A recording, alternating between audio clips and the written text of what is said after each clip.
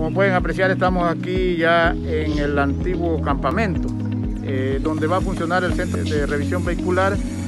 Eh, como nosotros lo habíamos explicado alguna vez, cuando llegamos a la administración vencía el plazo de que podíamos acceder a este servicio, pero nosotros actuando de manera muy responsable hemos decidido pedir una prórroga, que lo hicimos en la ciudad de Quito y hoy vemos con gran satisfacción que somos uno de los eh, únicos cantones de la parte alta de la provincia que accede a este servicio.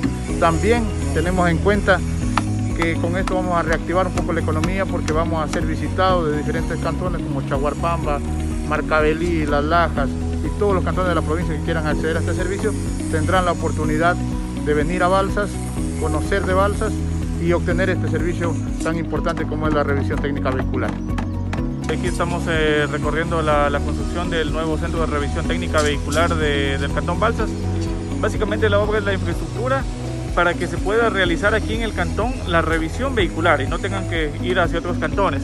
Entonces ahora estamos haciendo ya la construcción, la cual eh, consta de, una nave central, que es donde estará equipada de, los, eh, de las máquinas que se necesitan para hacer eh, la revisión vehicular y la parte administrativa. El terreno para la obra se entregó ya hace aproximado un mes, el avance ya estamos en alrededor del 10%, el monto de la obra es, supera los 500 mil dólares, la cual se le espera construir en un plazo de seis meses.